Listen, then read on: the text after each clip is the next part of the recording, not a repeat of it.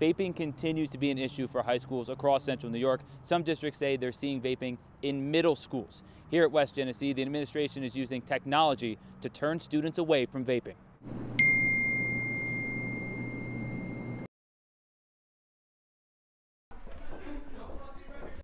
How many today? We had four today.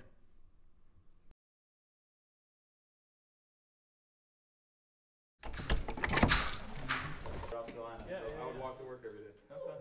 Walk to work every day. That's great. So then